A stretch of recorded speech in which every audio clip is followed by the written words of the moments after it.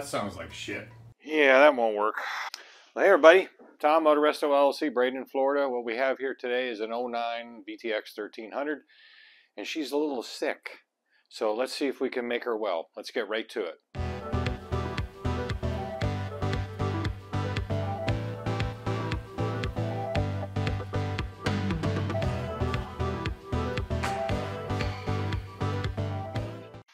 All right, so the deal with this is um, this is a referral job from my buddy down the road does Harleys. This gentleman that owns this has some Harleys, and uh, you know he wanted me to work on this because that's something my buddy down the road doesn't do is the um, Japanese bikes, and of course I do, as you all know. So I just picked this up. The objective here is just to make it run right because I think he wants to sell it. Um, I suspect there's carb problems with it. He said it's happened before. He said that uh, his father or somebody else was into the carb, uh, I don't know, a couple of years ago and cleaned it out and got it running.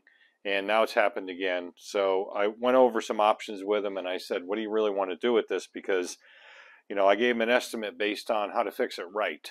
And that means, you know, going into it and actually figuring out why the carburetor is getting gooed up. There's probably some junk in it. My um, suspicions would be the fuel cock is probably bad as far as that filter stack that goes on the top of it and it's letting some shit through from inside the tank. Uh, he doesn't want to go into it that deep. Uh, he's thinking about selling it. So really all this is going to be is we're going to pull this cover off, pull the uh, carburetor out, and we're going to clean it real quick, give it an eval, reset the float height, and then put it back in and see if that doesn't solve it. There's oodles of videos on YouTube already on how to get the carb out of this thing, so I'm not going to bore you with that part. So I'm going to drop screws and then uh, get this out. You know, we'll uh, go over it briefly, but uh, basically we're just going to take it apart. And the main main thing here is to get at the carburetor. These are just 5 mil uh, hex, or Allen I should say, bolts, cap bolts really, if you really want to get te technical about it. Now I have never actually worked on a VTX like this before, many V-twins, but not a VTX. And this has uh, one carburetor for two cylinders. So it has a carburetor. Behind that's an intake manifold, and that uh, bifurcates out. There's a word for the day uh, to each cylinder. And there's your insides, or at least part of the insides. There's a, a uh, 10 mil bolt down here and three JIS uh, screws. A little bit of oil, but that is most likely from the uh, that's the crankcase ventilation coming back up into the airbox. So I'm not too worried about that. He mentioned that it's a nice new air filter. He said he did a tune-up on it recently and uh, that was uh, about the time I think he was starting to have problems. So um, it didn't obviously solve it. Hence, here. I really would rather do this job differently, but unfortunately, it is what it is. These uh, little plastic standoffs here that wrap around these screws are actually retainers. They're like captured screws, which is kind of nice. So uh, they don't necessarily fall directly back out when you... Oh, that one's... Did I loosen that one up already? I don't think I did. Maybe I did. Yeah, so basically, uh, basically, that's what those are for, which is kind of nice. Uh-oh. Aha. Yeah, that's one of those uh, well nut type deals. So the rubber expansion well nuts. So it's just spinning on that because somebody's been in this before. It was not put back properly, so we'll have to fix that. Yeah, it doesn't look good. See, here's the here's the side of it that I'm talking about right back here. You see that? So right in there is that is that bolt coming through and there's actually I'll show you when we take it off there's actually a rubber piece back in here which is one of those expanding deals. And we'll just pop those hoses off. When you're working around these things be careful what you're using because you start um, prying at stuff even if it's a kind of a lightweight plastic part it slips off and then you snap, smack it against one of these um, cylinder fins. It doesn't take too much to snap one of those so be careful. It's this right here. It's a like I said it's an expansion uh, nut essentially that goes inside that hole and then expands out and there's a usually a brass threaded internal area that's M6 uh, so we'll see if we can fix that for him all right so the service data says to uh, we got to take the choke off the other side. Essentially it's just a choke um, plunger which just gets held in a bracket with a plastic nut. So we'll pop that off off camera. I'll do that here separately and then um, we're going to undo the band clamp, of course, around the carburetor, carburator. And we'll pull that back a little bit and then we'll get at these throttle cables and disconnect those. Pretty simple, pretty standard stuff as far as that goes. And we'll get the carburetor off, take a look at it. Oh, one thing first, what you want to do on these, this particular carb has an accelerator pump, and that's the little nipple deal you see sticking up right there. I just wanted to use the word nipple in a video at least once. So it's right there. So what we want to do is we want to test that. And you see it squirting. So we know that's good. We're not going to mess with that. We're going to get our clean coffee cup going here and drain the contents of the carburetor into the coffee cup and take a look at what's in there. Makes you want to go pee. It seemed like a whole lot of fuel in that carburetor for for the size of it, which could be part of the problem as well, the float level's off. We've discussed that in other videos, but you can see it looks all right, but there's a couple of little specks down in there. This was a perfectly clean coffee cup. There's no water in it, of course, but there is definitely some specks in it that weren't in this cup. You see all that crap down in there to the right side? So I suspect that's probably what's happening with this thing, is what I said before. Now what I'm also going to do here is I'm going to take an old sweatshirt because it's large enough and I'm going to drape it in here between the fins carburetor and just protect those. Just don't want to take any chances here. Alright, there's two cooling lines that attach to this carburetor and what they do is essentially circulate hot water and keep the temperature of the carburetor same as the engine. It's like a, uh, you know, to warm it up as fast as the engine warms up um, or you know to cool it down as well because remember it is between the hot jugs so the water that goes through is going to tend to keep that carburetor at a uh, nominal level as far as temperature goes.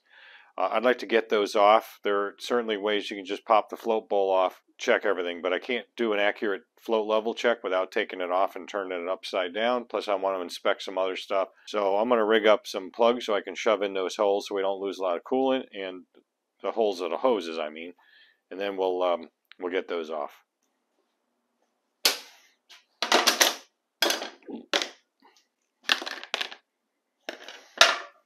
All right, this thing decided to turn off for some reason, so I think I lost some stuff. So let me just uh, review. I haven't gone that far anyway. I got it off, obviously. I did pull the uh, choke plunger out, or the enricher plunger out, and there was a little bit of crud at the very end of the plunger where it goes down into the uh, carb body there, into that circuit. So that is indicative, of course, that there's some more junk in there. I had one trouble here with a screw. You can see a screw has been butchered by somebody, and they used a probably a regular, uh, you know, hacksaw to to to make a slot into. I finally did get that out. Uh, I'm going to replace all those screws. What you have to do now is, uh, which I actually forgot at first, is uh, this is the accelerator pump on the bottom of the of the uh, carburetor. Uh, you saw, I, hope I got that footage that we tested that before. Um, this linkage is essentially all part of the float bowl. We have to disengage it from the actual throttle assembly, the rotating parts, the spinny parts. So what we're going to do here is just take this little cotter pin out and we'll get that um, done. There we go. Well, it actually didn't too, too bad. Hmm. Really it isn't. But there is a little bit down the bottom there. You see, really, you know, what all it takes to clog up these pilot circuits is a little piece of junk just like that. You see that little piece of crap in there. It's all it takes. Of course, we have our float, float valve, and our float needle. We're going to inspect those too, but there doesn't appear to be a problem with it. We'll go ahead and pressure test this. We don't need the pressure tester for it. We'll just blow on it and make sure it is sealing in the upside down position here. And if that's the case, we're good. Uh, if it was an inline four or multiple carbs, I would use the pressure test rig, and I have a video on that if you haven't seen it already. This is your main jet. This is your emulsion tube. Down below that is actually the uh, needle jet for the slide. You can't really see it. It's kind of hard to get at right in here, but it's the one that uh, penetrates up through the carburetor. And so what we want to do essentially right now is take the uh, main jet out. Just take a quick look at it. Yeah, it's a big ass jet. I think it's a one something. Sure, our problem is lies in the uh, slow jet, which is right here. That would be your slow jet, and then or your pilot jet, whatever you want to call it. And this is a jet as well, but it's fixed. It's the um, enricher circuit. So the enricher picks up uh, fuel from this when you pull that choke plunger out, changes the vacuum dynamics inside the carb to allow fuel to be drawn up through this circuit to enrich in the circuit when it's cold, or enrich the mixture rather when it's cold. So we're not going to deal with that except blow it out. That's why I took the plunger out of the uh, actual carb for the enricher. I want to blow that circuit out. according to the service data, it's supposed to be a 50, 50, 55, whatever. I don't know. I'd have to look it up. Maybe, maybe it's this, it's, you know, 50, 55, 220, 221, whatever works. This appears to be the appropriate jet size for it, but let's go ahead and take a look down inside with a flashlight. Now, that's a pretty big jet for a Keihin because Keihin actually uses the uh, size as the number as opposed to like Mikuni that uses the flow. So um, that's a pretty big jet. Now what I'm going to do is I'm going to hold it up here and you can see it is open but it may not be open enough or there may be some other problems going on with this. So right now not, I don't really see a big smoking gun as far as anything plugged. You know this has been taken apart before and I'm thinking maybe the float height is off and that would definitely give us a problem with uh, with it running uh, both uh, in a, you know certainly in the for the slow circuit because you know, the, the fuel has to be up high enough uh, to uh, be drawn up in there and it has to have a certain amount of level to make it easier for it to draw up there. In other words, if it's just barely covering this area, um, it's it's going to be a harder time getting the fuel to come up there under the certain va vacuum dynamics in there than it would be if it's up a little bit higher. So that all plays a big role. Don't let anybody tell you that the um, that the float level uh, doesn't really play that critical of a role in, in, on either circuit, the slow or high. It absolutely does. You got to be spot on with these things. Now this um, slow screw, we're going to take this out as well. This is one of these D-shape um, screws. I have the tool for that. And we're going to count the number of turns it's in first, and then we'll take it out, and then we'll just keep that in mind. But I have the service date on that. I forgot what it said, but we'll go look that up again when we put it back in. And the reason why I'm taking all this stuff out is everything is connected. Everything is linked. This is linked to other, other parts of the enricher circuit. This is linked to other parts of the main circuit. In particular, like uh, air, air jets on, on the intake side of the car. And the, the slow jet is linked to the pilot screw or the slow screw and that's linked to other parts of the uh, of the carburetor, including some uh, intake vacuum, you know, ports and so forth that Sometimes these have and sometimes they do not. It depends on the carb. So all of this stuff is related. You can't just take a jet out and clean the jet, put it back in and expect this thing to be right. It all has to be shotgunned as far as the circuits go because if you don't do that, you may have something of a blockage inside of a circuit that um, you don't know about until you clean it. So that's what we're going to do. Let me get this out, um, then we'll do the screw, and we'll start blowing it out, put them back together. We'll check the float. We'll just use the little ball on the detent ball on the side of it as a marker. It'll turn. Oh wow. Oh wow. Why is that so tight? Hmm. Hmm. What the hell is going on? It's almost like it's all the way in. I bet you this was maladjusted. See, this is, these get a little corroded too. That's why these are a little bit risky. You just got to be careful with them. You can lubricate these, but it wasn't that tight. So when we blow this all out, clean this off as well. This would be the pilot screw. Inside here, there's going to be a flat washer, a tiny, tiny flat washer, and a tiny O-ring. I generally have these O-rings in stock, so I'll replace that because you don't want a vacuum leak around your fuel or pilot screw. This is, some guys are calling them air screws. They're not air screws. They're actually fuel mixture screws. They adjust the fuel in relationship to the air instead of the air relationship to the fuel. And so uh, we don't want a vacuum leak there. This is the highest vacuum point of the carburetor, right where it goes into the manifold in this case. So uh, basically we want to make sure that's nice and clean. And it's also seated on that rubber pretty well. So I generally just take a little piece of wire and bend the end of it. I'll show you what I mean, and we'll pull those two things out and take a look at them. I'm, you know, I'm sure I'm going to replace the O-ring. I, like I said, I generally have those. I am thinking, folks, that, whoops, I'm thinking that my little piece of wire just shot out. Where was I? I am thinking that the fuel screw setting was absolutely wrong. And this is all this is all gunky. Look at, whoops. Here's your little washer. I'm going to tip my finger there. All right, and underneath this is a uh, O-ring and uh, they're kind of fused together right now, but it doesn't really matter. Here they go. Yeah, threads are okay, but if that was really hard to come out, like when I first tried it, I immediately stopped, put some penetrating oil on it, start working it back and forth. Um, this certainly had the potential to drag the threads with it, but it did not. So it was it wasn't that hard. Yeah, I'm looking at all the threads. They look fine. Should be just fine. It'll be fine. I, I wish I could have figured out what it was uh, set at, but I'm thinking that this is part of the problem as well.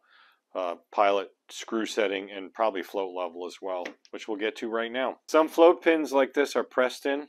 These are not. If they are, you just gotta kind of guess. You don't want to necessarily drive them through, but sometimes you have to with a little drift. Just be careful not to break one of the standoffs, then you're screwed. The carb body is scrap. All right, so here's your float valve or the float needle, which may or may not be good. I think it is. I mean, it does have a little indentation in it, a little impression. I'm sorry, ma'am, I don't do impressions. We'll have to check it. We'll have to see. Before we button it up, we'll test the float to uh, make sure that it is floating. Eh. Now, what was I going to do? I was going to take this out and make sure that we got, I'm sure this emulsion is going to be fine. When you take this out of a carb body, this emulsion tube with the little holes, and I can tell right now it's really clean. When you take that out, some carbs, that uh, needle jet is not pressed in. So it'll come out from the inside. You reach in and give it a push, it'll pop out and come out this standoff. All right, if you don't do that and you start cleaning the carb, you can easily lose it. So I'm just mentioning that. I'm not going to take it down or tear it down to that level in this video or in this job for that matter. The float seat is good. Float needle seat looks really nice. So I'm not going to even bother trying to even polish that or anything. It looks good. So let's uh, go ahead and just start. I'm going to go ahead and do this off camera. You don't need to see this. I'm going to shoot some brake clean through, do some uh, blowing out with the uh, with the air gun, and then uh, we'll get this ready to uh, start putting it back together. Then we'll check the float height and see how it works. New washer, new O-ring. I generally use a little bit of silicone grease on these to make them seat. I cleaned everything. Use them on the threads of the actual screw itself. Go backwards until I can feel it want to drop into a thread. No chance of cross-threading it then. All right, good. Now we're seated. I'm going to go one, two. I'm going to start at three. I don't. I haven't looked it up yet, but I'm just going to put it at three turns right now. That way, I know where it's at, and I can always adjust it from there. So the fuel screw is the full screw is done. Uh, we'll go ahead and put the jets back in after we make sure they're double, make sure they're clean and the emulsion. tight but not too tight. Good. You can snap those ends of the jet off, the slot parts, real easy. So don't uh, go all He-Man on it. You don't need to. Okay, let me go look up the float height and the um, uh, this guy. What is that called again? Yeah, the fuel screw turnouts. Hang on. Fuel screw is supposed to be two and a half. Um, I'm going to go two and three quarter on it and the float height is 18 mils or 730 bananas 0.730 if you're an imperial and remember this is generally done almost always exclusively done whoops with clean calipers with the float just touching the float valve so you see how it kind of bounces right there that's where we want to check it unfortunately it's not adjustable I just noticed that you saw that before I did that is a non-adjustable float, so it is what it is. Uh, I thought at first it might be adjustable. I didn't pay attention to it when I took it out, so it's I guess it's going to be close enough, won't it? But that's pretty much where it's at. I'm going to leave it. Obviously, I have no choice. Doy. That's all right. That's okay. I don't mind making mistakes on video. I make mistakes, so you don't have to. All right, so we know we're at three. Let's go to two and three quarter, which is right there clean the float bowl out, which I will do here in a moment, and uh, we'll kind of wipe this area off. We don't want to hit that with any real solvent or anything in case it swells it up, and just uh, and we'll get her, get her, get her done, get her done, get her put back together. Honda puts these in, or Keihin, I should say, puts these in these float bowl gaskets with uh, this goo. You can see a little bit of it there. It's kind of red. It's like an adhesive. So if you have to change the float bowl gasket, you're gonna, you're going to spend a considerable amount of time getting that out of there. I recommend using plastic tools or something that's not going to necessarily gouge it, but sometimes you have to do what you got to do. What holds that pin in essentially is the features of the float bowl body itself. It can't go left or right very far. In case you're wondering.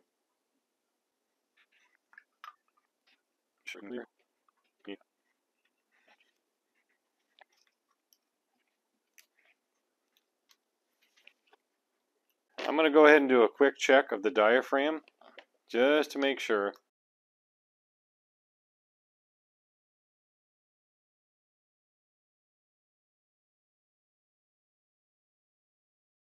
That looks fine. I'm not going to take it out. I just want to take a look at it. Doesn't seem to have any holes. It's folded over properly. It's got the little creases and tufts in it, you know. And uh, this is where the needle gets seated in there. I'm not going to worry about that either. I just wanted to kind of give it a quick check. That looks good. All right, I'm going to get this back in and we'll, I think uh, we'll just pick this back up when I get it back installed and get ready to start start it up. We'll take we'll check it out together. How's that sound? We'll check it out together. Carburator's back in. I just want to show you one thing. I haven't started it yet, of course. The band clamps. See them back there? There's two band clamps. There's one that will clamp. It's called an insulator, okay? That's a carb holder. Okay, that this one I'm looking at that's more closer to the carb is the one for the carb, of course. The one back behind it is the one that attaches to the manifold. Okay, that was loose. I mean, really loose, like backed way, way off. So you got to check all that because most likely that was helping to introduce a vacuum leak. Remember, that's where your highest vacuum is going to be, right in there, up to the carburetor. So probably part of the problem as well, especially in idle. That's really when your vacuum is the highest, of course. And so uh, hopefully that helps straighten out this problem as well. I bet you that's part of it. All right, let's give her a shot. We got it all back together as far as essentially where it came in at.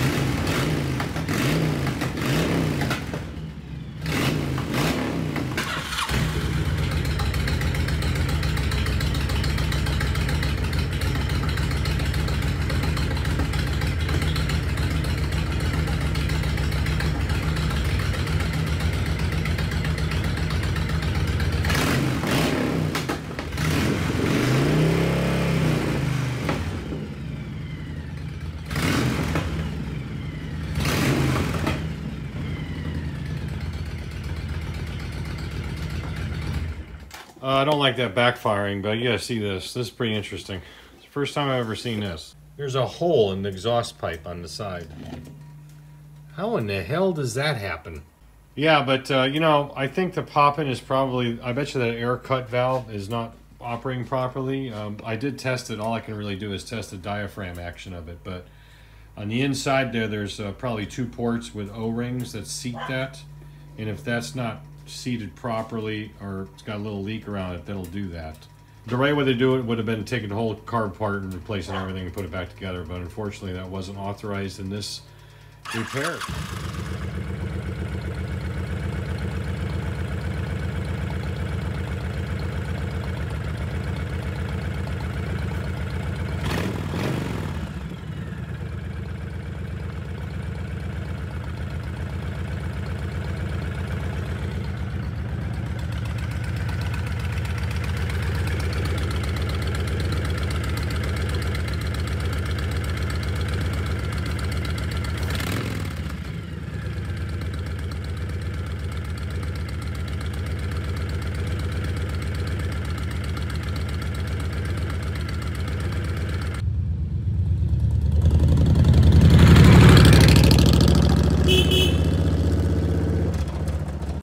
right, so that's it. Job done. Main problems I found was, yes, some dirt in the car, but also some vacuum leaks. You saw an earlier clip that band clamp on the uh, manifold side of the carb isolator, definitely loose.